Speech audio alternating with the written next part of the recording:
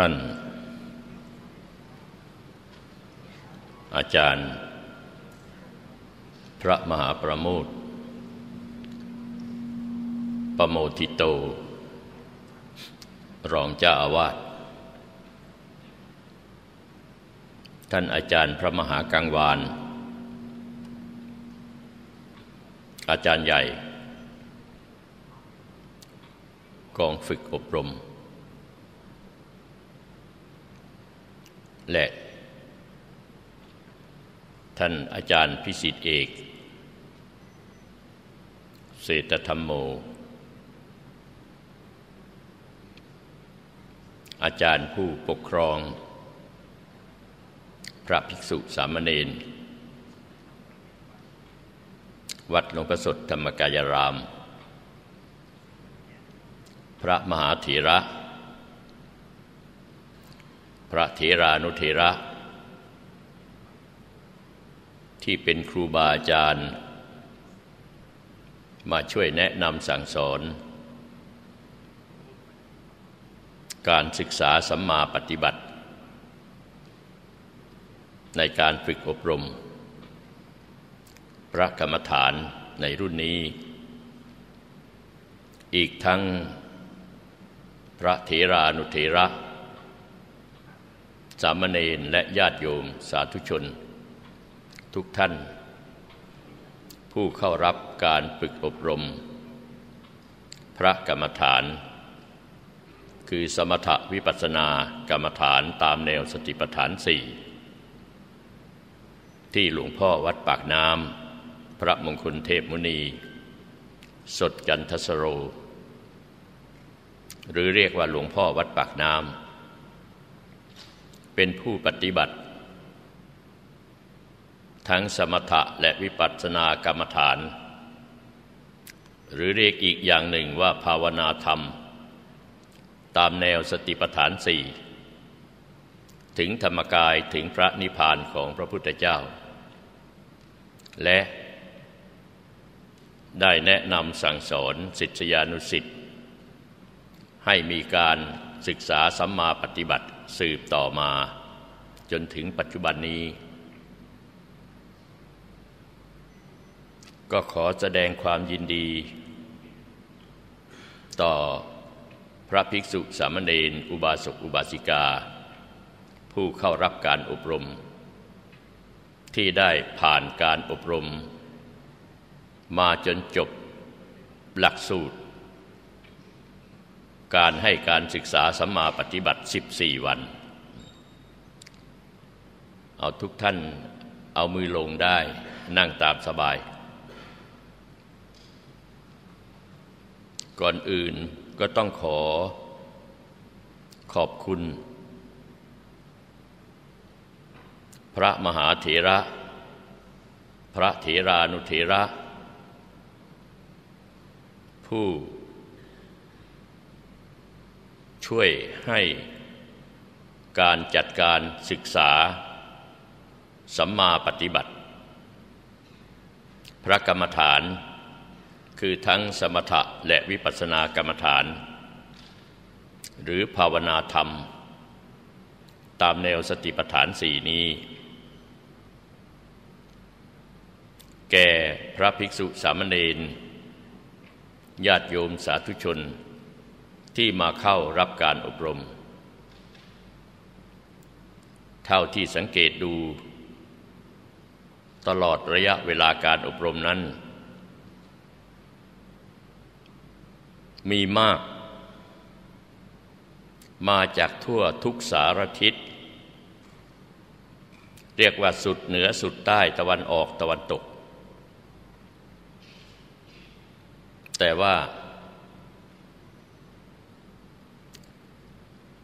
หลายท่าน ที่เป็นผู้ทำงาน ก็ไม่ได้อยู่ตลอดการอบรมทุกวัน แม้จำนวนจะมองเห็นด้วยสายตาหกร้อยรูปคนขึ้นไป ถึงกับเต็มห้อง ห้องประชุมนี้ แล้วยังมีล้นออกไปข้างนอก แต่ว่าท่านที่สามารถ อยู่รับการอบรมจนตลอด 14 วัน ตั้งแต่วันที่หนึ่ง ถึงวันที่ 14 ธันวาคมนี้ ก็ต้องขอชื่นชมยินดี ที่ท่านได้ตั้งใจ ศึกษาสัมมาปฏิบัติด้วยดี และก็นับว่าเป็นโชคดี ที่ท่าน ได้มีเวลา พอที่จะอยู่รับการอบรมจนตลอดระยะเวลาการอบรม ซึ่งส่วนใหญ่อุบาสกอุบาสิกาก็เป็นผู้มีอายุ อย่างเช่น แม่ชีหลายรูป ที่อยู่ที่วัดชัยชนะสงคราม หาดใหญ่ จังหวัดสงขลา และก็มีญาติโยมหลายท่าน แม้มาจากจังหวัด สุดเขตชายแดนภาคใต้ ยะลา ปัตตานีนราธิวาสจากทางเหนือก็มีจากอีสานก็มาก ก็ขอแสดงความชื่นชมยินดีที่ท่าน ทั้งพระภิกษุ และสามเณรอุบาสกอุบาสิกา ท่านได้เข้ามาสู่สำนักนี้เพื่อรับการอบรม ธรรมะปฏิบัติดังกล่าว หลักสูตรการอบรมสำหรับการอบรมพระกรรมฐาน ที่สำนักปฏิบัติธรรม ประจำจังหวัดราชบุรีแห่งที่หนึ่ง โดยมติมหาเทรสมาคม และเป็นที่ตั้ง ศูนย์ประสานงานสำนักปฏิบัติธรรม ประจำจังหวัดแห่งประเทศไทย อีกทั้งศูนย์ส่งเสริมคุณธรรมจริยธรรม และความมั่นคงแห่งสถาบันชาติ พระพุทธศาสนา และสถาบันพระมหากษัตริย์ ณวัดหลวงพ่อสดธรรมกายราม แห่งนี้นั้น ได้ใช้หลักสูตรการอบรม เฉพาะในส่วน ของการเจริญ สมถวิปัสสนากรรมฐาน ตามแนวสติปัฏฐานสี่ที่หลวงพ่อวัดปากน้ำพระมงคลเทพมุนีสดจันทสโร ท่านได้ศึกษาสัมมาปฏิบัติ ตามแนวสติปัฏฐานสี่นี้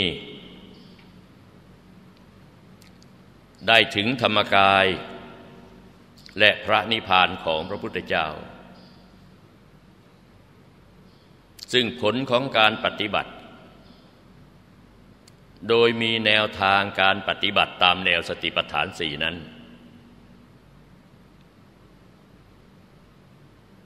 อาตมา ได้ตั้งใจศึกษาสัมมาปฏิบัติ ตามคำแนะนำของพระเดชพระคุณหลวงพ่อท่าน ได้ศึกษาประกอบกันคือหลักพระปริยัติธรรม เห็นว่าแนวทางการปฏิบัติ ให้ได้รับผลดังกล่าว คือถึงธรรมกายถึงพระนิพพานของพระพุทธเจ้านั้น ถูกต้องร่องรอย ตามคำสั่งสอนของพระพุทธเจ้า ทุกประการ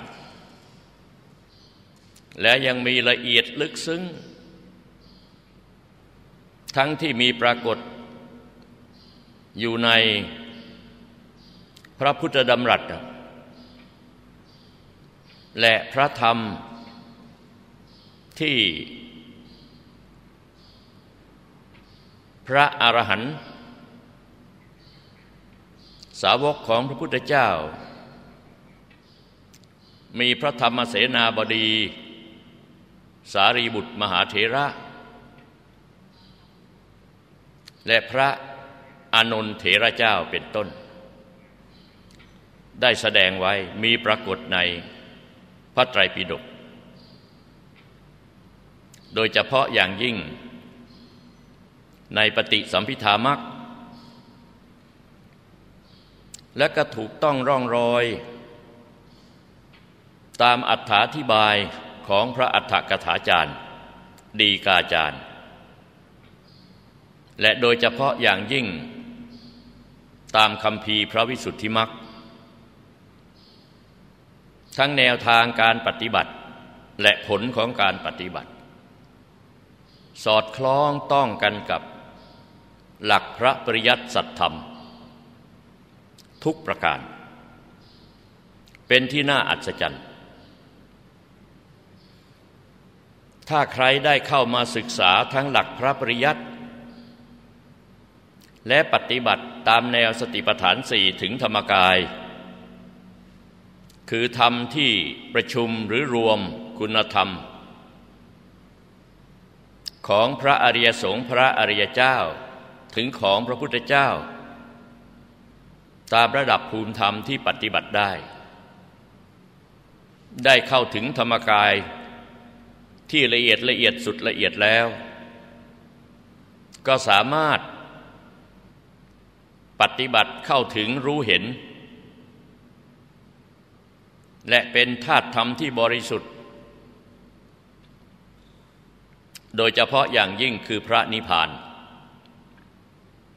ที่พระพุทธองค์ตรัสอัติพิกเวตทายตนัง เป็นต้น ดูก่อนภิกษุทั้งหลาย อายตนะ นั้นคือพระนิพพานมีอยู่ นี่เป็นข้อที่น่าอัศจรรย์ ที่หลวงพ่อวัดปากน้ำพระมงคลเทพมุนีสดจันทสโร ผู้ได้ศึกษาสัมมาปฏิบัติทั้งหลักพระปริยัติสัตธรรม และปฏิบัติพระสัตธรรม ถึงเป็นปฏิเวท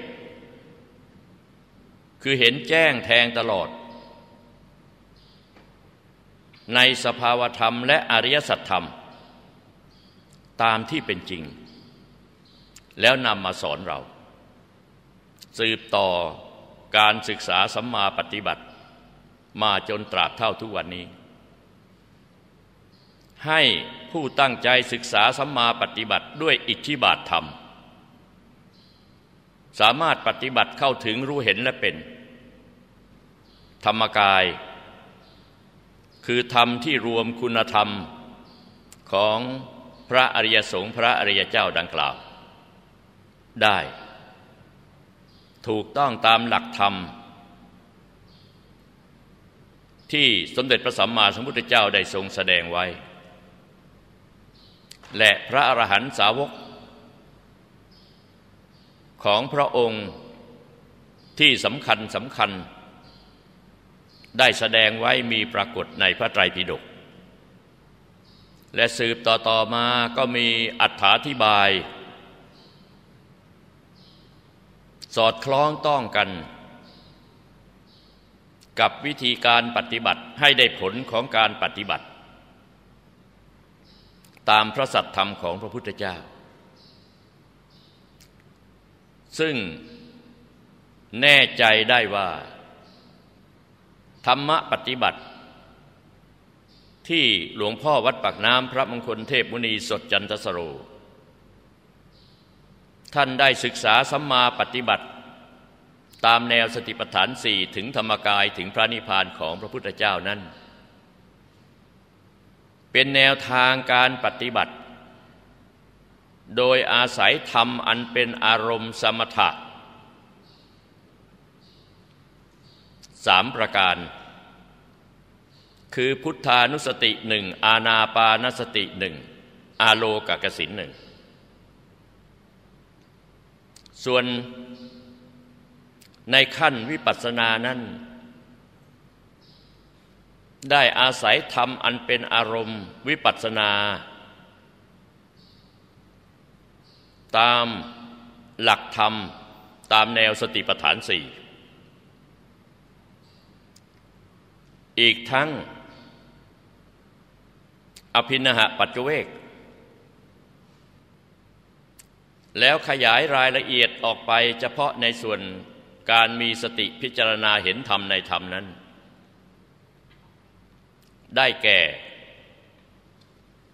การมีสติพิจารณาเห็นนิวรณ์ห้าอุปทานในขันห้าอายตนะสิบสองธาตุสิบแปดโพชฌงเจ็ดและอริมักมีองค์แปดแนวทางปฏิบัตินี้ที่หลวงพ่อวัดปากน้ำ พระมงคลเทพมุนีสดจันทสโรได้ปฏิบัติ ได้ผลดีแล้วสอนศิษยานุสิ์นั้น อยู่ในร่องรอย ตามแนวทางปฏิบัติ ทั้งการให้มีสติพิจารณาเห็นกายในกายเห็นเวทนาในเวทนาเห็นจิตในจิตและเห็นธรรมในธรรม ดังที่กล่าวนี้อย่างชัดเจนแน่นอน ให้เจริญปัญญาจากการที่ได้ทั้งรู้ทั้งเห็น นี้เป็นข้ออัศจรรย์ที่ท่านทั้งหลายได้เข้ามาศึกษาสัมมาปฏิบัติหลายรุ่นแล้ว รุ่นนี้เป็นรุ่นที่หกสิบได้เปิดการให้การศึกษาอบรมมาตั้งแต่ ผืนแผ่นดิน บริเวณเป็นที่ตั้งของวัดหลวงพ่อสดธรรมกายรามนั้น ยังมีฐานะ เป็นสถาบันพุทธภาวนาวิชาธรรมกายและเป็นของมูลนิธิ พุทธภาวนาวิชาธรรมกาย วัดสเกตราชวรมหาวิหาร แล้วเมื่อ ได้รับการประกาศตั้งเป็นวัด เมื่อปีพุทธศักราช 2534 ชื่อวัดหลวงพ่อสดธรรมกายราม ในส่วนที่เป็นพื้นที่ที่เป็นของวัด 72 ไร่ครึ่ง กับส่วนที่เป็นของมูลนิธิอยู่โดยรอบ อีกกว่า 200 ไร่ นี้ ได้เป็น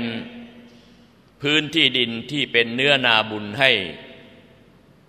ญาติโยมสาธุชนและก็ พระภิกษุสามเณรอุบาสกอุบาสิกาได้เข้ามาบำเพ็ญกุศล มีทานกุศล ศีลกุศล ภาวนากุศล ให้เจริญขึ้น เป็นศีลสมาธิปัญญา และอธิศีลอธิจิต อธิปัญญา มีรายละเอียดอยู่ในอริมักในองค์แปดตามแนวสติปัฏฐานสี่ถึงธรรมกายถึงพระนิพพานของพระพุทธเจ้านั้น มีพยาน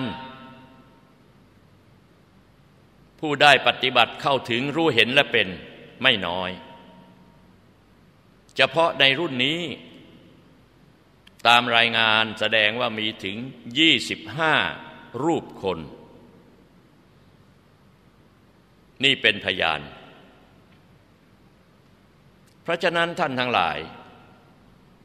ได้เข้ามาศึกษาสัมมาปฏิบัติที่สำนักนี้ ที่ไม่ได้อวดอ้างว่า เป็นสำนักที่ปฏิบัติดีที่สุดแห่งเดียว แต่แนวทางการปฏิบัตินั้น เป็นวิธีหนึ่ง ถูกต้องร่องรอยตามแนวทางคำสอนของสมเด็จพระบรมศาสดา สัมมาสัมพุทธเจ้า โดยเฉพาะอย่างยิ่งคือตามแนวสติปัฏฐานสี่หรืออีกในหนึ่งอริยมรรคมีองค์แปดหรือกล่าวโดยย่อลงมาก็คือไตรสิกขา ศีลสมาธิปัญญาให้ถึงอธิศีลอธิจิต อธิปัญญายิ่งขึ้นไป ถึงปฐมมรรคมรรคจิตมรรคปัญญาทำโคตรภูพระโสดาพระสกทาคาพระอนาคาพระอรหันต์ในเบื้องต้นในส่วนที่นับว่าผู้ปฏิบัติได้เข้าถึงรู้เห็นและเป็น คตรภูบุคคล ซึ่งก้าวเข้าสู่เขตของพระอริยบุคคล แม้นั้นก็มิได้ให้ท่านพากันลำพองใจว่าพอแล้ว นี่เป็นเพียงแค่ ธรรมปฏิบัติถึงระดับเบื้องกลาง ที่จะต้องปฏิบัติรุดหน้าไป จนกว่าจะเจริญปัญญาเห็นแจ้งในสภาวธรรม และอริยสัจธรรมตามที่เป็นจริง ให้มรรคจิตมรรคปัญญาเกิดและเจริญขึ้น ให้อริมักมีองค์แปดรวมกันเป็นเอกสมังคีให้สามารถ หรือมีอนุภาพให้สามารถ ละสัญญต์กิเลสเครื่องร้อยรัดให้ติดอยู่กับโลก อย่างน้อยสามประการขึ้นไป คือสักกายทิฏฐิวิจิกิจฉาสีลปตศีลปตะปรามาตซึ่งจะปรากฏธรรมกายพระโสดาปฏิมักขึ้นประหารคือละ สัญญต์เบื้องต่ำสามประการดังกล่าวขึ้นไป เป็นสมุดเฉดประหารและปรากฏธรรมกายพระโสดาปฏิผล เข้าพระสมาบัติ และพิจารณาปัจเจเวก คือพิจารณากิเลสที่กำจัดได้แล้ว พิจารณากิเลสที่เหลือ พิจารณาเห็น รู้เห็นมรรคผลและพระนิพพาน ตามความเป็นจริงดำรงอยู่ ในอริยภูมิ ตั้งแต่พระโสดาบันบุคคลขึ้นไป แล้วนั่นแหละจึงจะไว้วางใจได้ว่า พระอริยสงฆ์พระอริยเจ้า องค์นั้นรูปนั้นหรือท่านผู้นั้น ปลอดภัยจากอบายภูมิแล้ว ลาดลงเทลงสู่พระนิพพาน เป็นเด็ดขาดแล้ว สมตามพระสัทธรรมของพระพุทธเจ้า ที่แสดงโดย พระอานนท์เถระเจ้าและพระสารีบุตรผู้ขยายความ ในปฏิสัมพิธามักว่าเมื่อใดที่พระโยคาวจรหรือพระภิกษุ พิจารณาเห็น เบญจขันธ์เป็นของไม่เที่ยง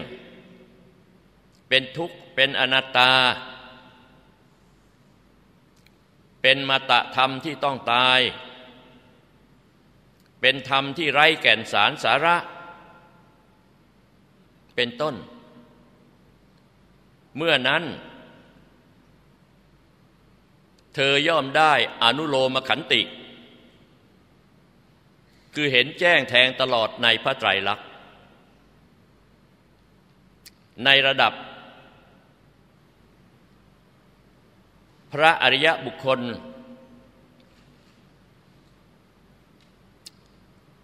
คือเป็นตอนต่อระหว่างปุถุชนกับอริยบุคคล ที่เราเรียกว่า โคตรภูบุคคล ให้เจริญ โคตรภูจิตขึ้นเป็นโคตรภูยาน และเมื่อใดที่พระโยคาวจร เห็นความดับแห่งเบญจขันธ์เป็นพระเป็นพระนิพพานเที่ยง เป็นบรมสุข มีประโยชน์อย่างยิ่งคือปรมัตถัง เป็นอมตะธรรมที่ไม่ตาย และเป็นธรรมที่มีแก่นสารสาระ ในความเป็นของเที่ยง ในความเป็นสุข และในความเป็นประโยชน์อย่างยิ่งเป็นต้น ไม่มีการเกิดแก่เจ็บตายอีกต่อไป เมื่อนั้นเธอย่อมย่างลงสู่สัมมัตตนิยาม คือเที่ยงต่อการบรรลุมรรคผล กล่าวคืออย่างลงสู่มรรคและผลนั่นเอง ถ้าถึงขั้นนี้ เป็นอันแน่ใจได้ ว่าปิดประตูอบายร้อยเปอร์เซนต์และท่านจะเจริญคุณธรรม ต่อต่อไป เป็นธรรมกายมรรคผลและพระนิพพานธาตุกล่าวละเอียดขึ้นมาหน่อยก็คือมรรคสี่ผลสี่และพระนิพพานหนึ่งที่เรียกว่าพระนพโลกุตระธรรมเจ้าเก้าประการ นี้เป็นทางดำเนินของพระอริยบุคคลดำเนินตามแนวสติปัฏฐานสี่นี่แหละ อย่างนี้ นี้เป็นเพียงแนวทางที่กล่าวถึง ข้อมูลทั้งหลายนี้ จากพระไตรปิฎกและมีอัถาธิบายโดยพระอัฏฐกถาจารย์และดีกาจารย์ประกอบ เพื่อให้เข้าใจง่ายขึ้น การศึกษาสมาปฏิบัติ ดังกล่าวนี้จึงมีคุณประโยชน์อย่างยิ่ง แก่ผู้ได้ตั้งใจศึกษาสัมมาปฏิบัตินำตนให้พ้นโลก พ้นจากการเวียนว่ายตายเกิด อยู่ในสังสารวัฏในระหว่างการศึกษาสัมมาปฏิบัติด้วยดี สม่ำเสมอ และเพิ่มพูนบุญบารมียิ่งยิ่งขึ้นไปนั้น ชีวิตของผู้ปฏิบัตินั้น จะเจริญทั้งสุขภาพกายและสุขภาพจิต สติปัญญาอันเห็นแจ้งด้วยสติปัญญา ด้วยสติสัมปชัญญะ อันสัมปยุตด้วยปัญญาอันเห็นแจ้งในสภาวธรรม และอริยสัจธรรมตามที่เป็นจริง เป็นบุคคลที่มีจิตใจที่สงบระงับ รู้บาปบุญคุณโทษ รู้ทางเจริญทางเสื่อมแห่งชีวิตตามที่เป็นจริง รู้สิ่งที่เป็นแก่นสารสาระและไม่ใช่สาระ ตามความเป็นจริง กล่าวโดยย่อให้เข้าใจง่าย รู้บาปบุญคุณโทษ รู้ผิดชอบชั่วดี รู้ทางเจริญทางเสื่อมแห่งชีวิตตามที่เป็นจริง มีสติสัมปชัญญะด้วยปัญญาอันเห็นชอบอย่างนี้อยู่ การดำเนินชีวิตของบุคคลผู้เช่นนั้น มีแต่ความเจริญและสันติสุขแต่ถ่ายเดียว แล้วก็ยังผลให้ผู้อยู่ใกล้ชิด ไม่ว่าจะในครอบครัว ในสังคมในประเทศชาติ ได้เห็นคุณความดีนี้เป็นตัวอย่างที่ดี ใครอยู่ใกล้ชิดบุคคลผู้เช่นนี้ ที่พระพุทธเจ้าท่านตรัสเรียกแล้วละ่ะ บุคคลผู้เช่นนี้ท่านพระองค์ตรัสเรียกว่าบัณฑิต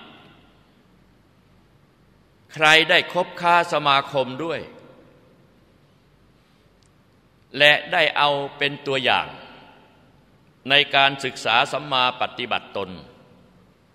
ไปตามหลักธรรมของพระพุทธเจ้า